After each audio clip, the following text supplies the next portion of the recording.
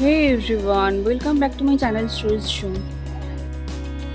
आज का मेरा बैंडल का थर्ड डेस्टिनेशन है लारी बाबा आश्रम मंदिर में प्रवेश करते ही आप लोगों को ऐसा लगेगा कि दोनों हाथ ही आप लोगों को वेलकम कर रहे हैं।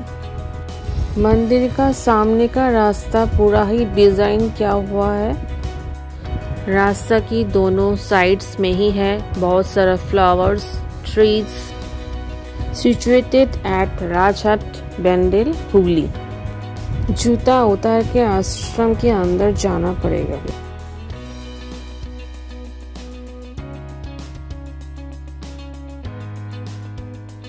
एक ही आश्रम में हिंदू, बौद्ध, क्रिश्चियन सब रिलीजियंस की, भगवान की आइडल आपको दिखाई देगी।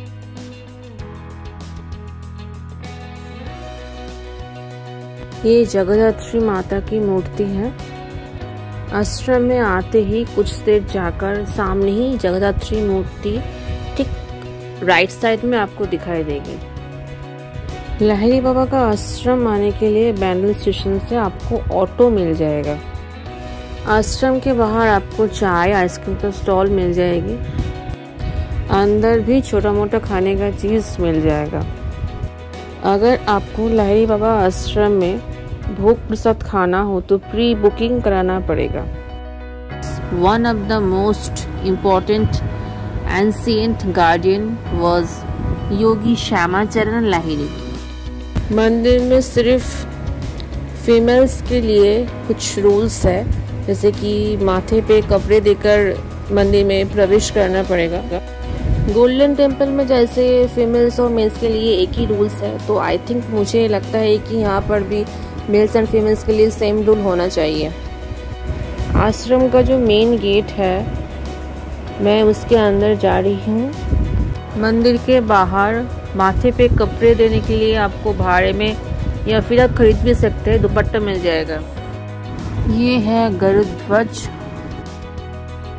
founder of Lahiri Baba's ashram at Bandel was Sudeep Banerjee main मंदिर के अंदर फोटोशूट अलाउड नहीं है। मंदिर का आर्किटेक्चर तो मुझे बहुत ही खूबसूरत लगा।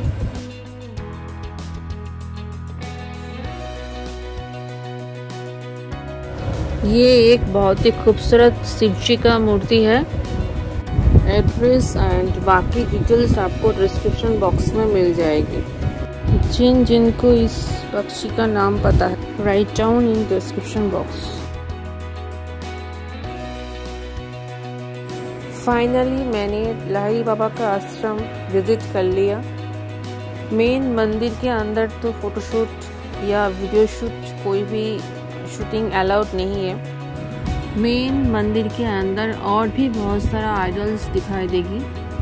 मंदिर के बाहर बहुत अच्छी चाय मिल रही है, बहुत सारा आम के पेड़ है। वीडियो पॉज मत करना वीडियो इन तक दिखते रहना बिकॉज़ इसके बाद मेरा डेस्टिनेशन होगा हंसेश्वरी टेंपल अभी ऑलरेडी साढ़े पाँच बज चुका है तो मैं अभी जाऊँगी Banshberia so let's go to the Banshberia रास्ते में एक गायत्री मंदिर पड़ेगी।